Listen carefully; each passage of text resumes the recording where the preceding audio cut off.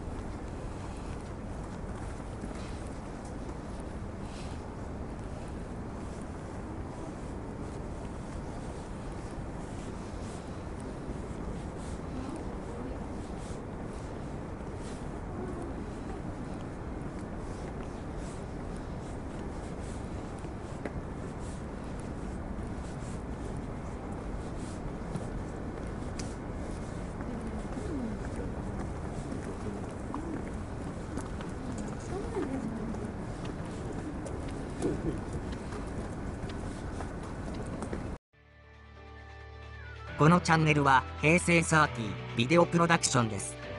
チャンネル登録してお待ちください。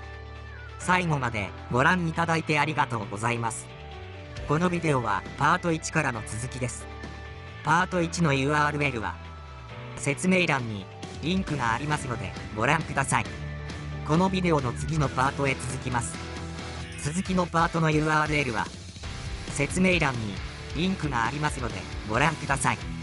他にも日本テレビ、フジテレビ、テレビ朝日でも紹介された。渋谷ハロウィン2018軽トラ事件のスクープをはじめラブホテル街ドキュメンタリースタビライザー散歩など公開してます。説明欄に関連リンクがありますのでご覧ください。